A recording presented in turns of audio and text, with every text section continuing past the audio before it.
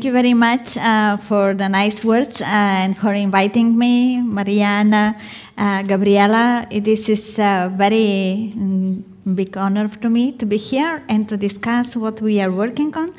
And I think this is a very unique conference, especially for one thing that you don't see very much, that organizers are all female. so this is especially interesting and I really encourage uh, to continue in this way. Uh, so today um, I would like to, to, to, mention, to comment to you one of our research lines that is re related to self-supervised uh, learning and especially our application food images. But I begin with some question to the audience. Which is the year of CNNs? What do you think? Which one? 2012.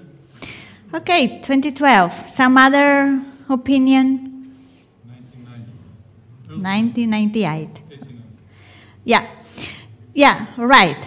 so CNNs came from 1998 when LeCun published it uh, in co-authors published the CNNs. Okay, and uh, in fact, uh, CNNs were even created before, uh, but uh, it's really very funny when he's playing how difficult it was to him to publish the paper. so he got several rejections before publishing the paper. This is encouraging for people that also sometimes our papers could be rejected. Um, but there was this uh, gap, right, from 1998 to 2012. So what happened these 14 years? What happened in these 12, 14 years is that in 2009, the ImageNet appeared.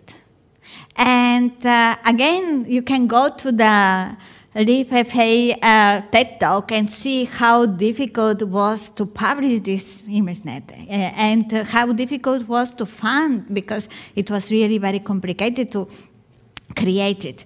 Okay, so 2012, that for all of us is considered like when the CNNs really began interesting, is because in 2012, the CNNs got better than human performance on object recognition. And that's why we began to believe to CN in CNNs.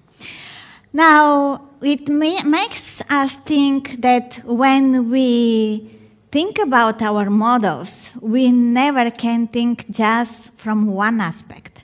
Always, in order to go forward, we need three very important aspects that